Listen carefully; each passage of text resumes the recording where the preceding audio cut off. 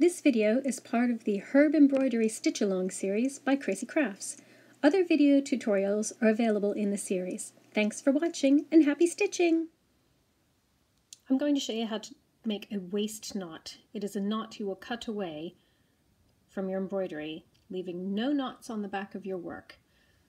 A waste knot is good when you're doing something that there's the possibility that somebody will see your backside, such as on a handkerchief or a tablecloth or napkins, things like that. So you have your embroidery floss. I've made the little knot on the end, you see right there. Now a lot of times I'll just come up from the back of my work and pull through, like everybody does. I'm going to show you the waste knot on the stem for the lavender. What you do is go in from the front, a little ways away from where you're going to be stitching. You pull the thread through, leaving your knot on the front of your work. Then you make two tiny stitches along the line of where you will be stitching so you could cover them up.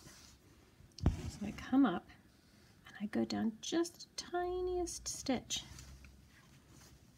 These are anchoring stitches. They're going to keep the thread in place.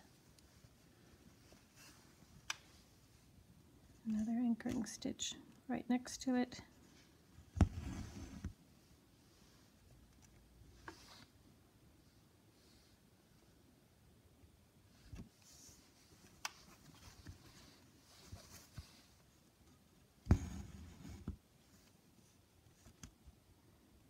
Another stitch comes up right next to the first one, again along the line of where you're going to be stitching.